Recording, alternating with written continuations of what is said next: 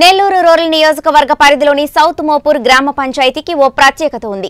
గత అరవై సంవత్సరాల నుండి సిపిఐ పార్టీ అభ్యర్థి ఆ గ్రామ సర్పంచ్గా ఎన్నికవుతుంటారు. సిపిఐ సీనియర్ నేత ఫంజుల దశరథ రామయ్యను గత అరవై సంవత్సరాల నుండి వరుసగా ఆ ప్రాంత ప్రజలు గెలిపించుకుంటూ వస్తున్నారు.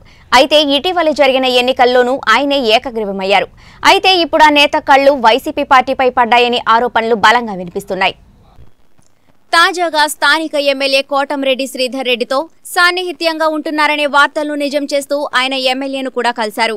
దీంతో సిపిఐ నేతల్లో దశరథ రామయ్యపై అసహనం నెలకొంది. అప్పట్లో గ్రామాభివృద్ధి పనుల కోసమే పాటుపడిన ఈ నేత ఇటీవలే కొద్ది రోజుల నుండి వైసీపీకి పూర్తిగా మద్దతుగా పనిచేయడంతో గ్రామస్తులు ఆశ్చర్యానికి గురవుతున్నారు. దశరథ రామయ్య సిపిఐ సీనియర్ నేత కావడంతోనే ఎమ్మెల్యే కోటంరెడ్డి ఆయనను వైసీపీ పార్టీలోకి ఆహ్వానిస్తున్నారనే గాసిప్స్ కూడా జోరందుకున్నాయి.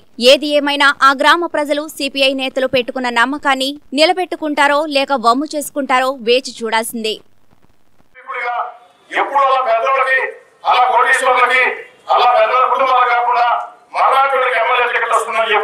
కుటుంబ సభ్యుడిగా నన్ను ప్రోత్సహించి ఆరాధించారు ఆ ప్రోత్సహించిన వాళ్ళలో పెద్దలు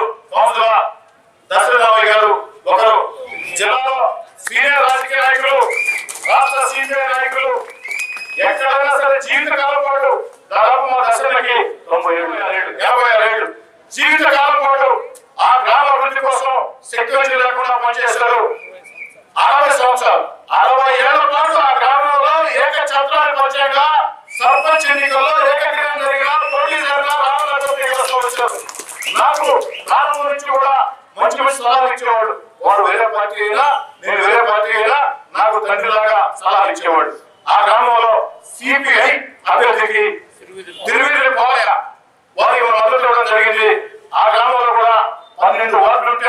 పదకొండు మనం గెలవడం జరిగింది. సర్పంచ్ పెద్ద గెలవడం జరిగింది.